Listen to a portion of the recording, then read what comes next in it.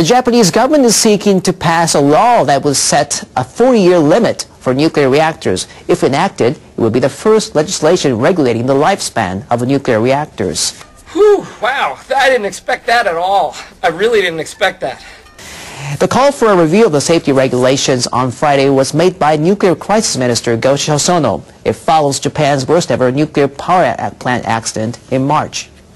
The government wants to make radical changes to its safety regulations. Nuclear power will only be used when it's confirmed to be safe. Okay, you know what? You know, I got a weak stomach. That's all I can really take. All right, I'll see y'all. Jay? Under the plan, the working life of nuclear reactors would be limited to 40 years in principle.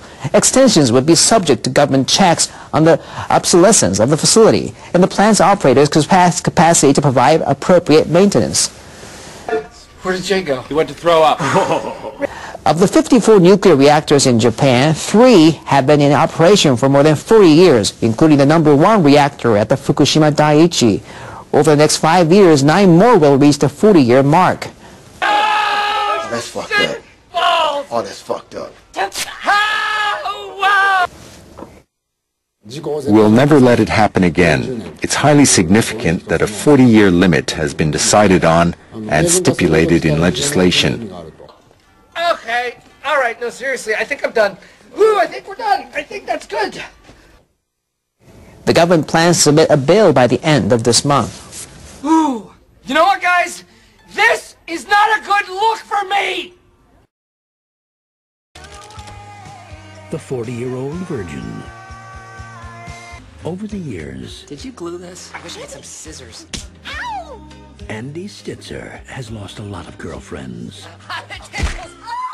I'm sorry. But there's one thing he never lost. Are you a virgin? Oh, you are hilarious.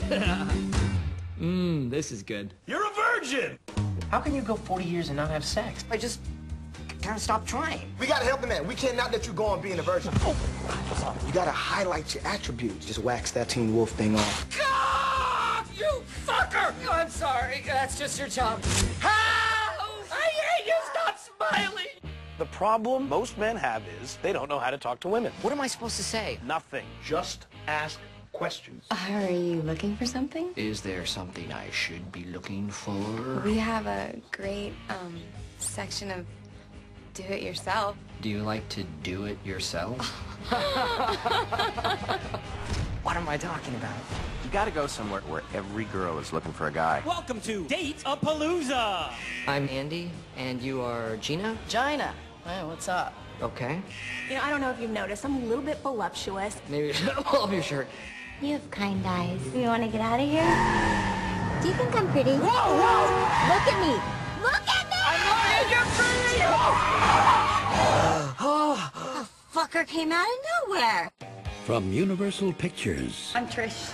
Andy. She gave me her number. My God, man! and the producer of Anchorman. We've given you all the advice we have to give.